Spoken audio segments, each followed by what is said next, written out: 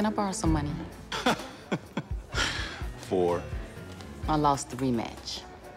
And I still need to get my Aston Martin back from Luke. Damn it, what is wrong with him? I told Aha, Archie. You told him to throw the game. Because that's the kind of guy that I am. I'm D.B. Woodside, and I play Malcolm Franks on uh, season three of Single Ladies. I think the word that most people uh, would use or apply to, to Malcolm uh, is shady. The man is the most corrupt, shady. Shady? And it's, it's one of those words that I've always had a problem with.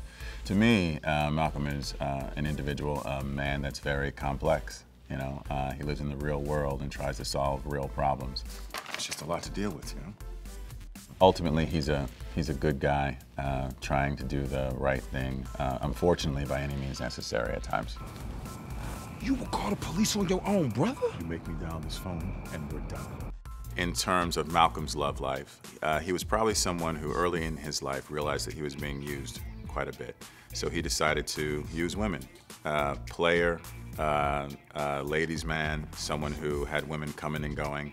I think he was thoroughly enjoying that life. Uh, then he met Keisha, who turns out to be the love of his life. And that life, that old life that he had, he stopped and has committed his life to this uh, intelligent, fiery, powerful, sexy, strong black woman.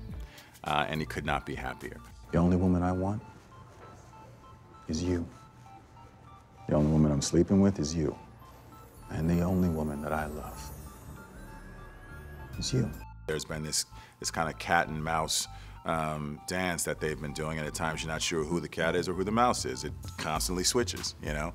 But this season, uh, it's been really great to work with LisaRaye and to establish this stable, strong love.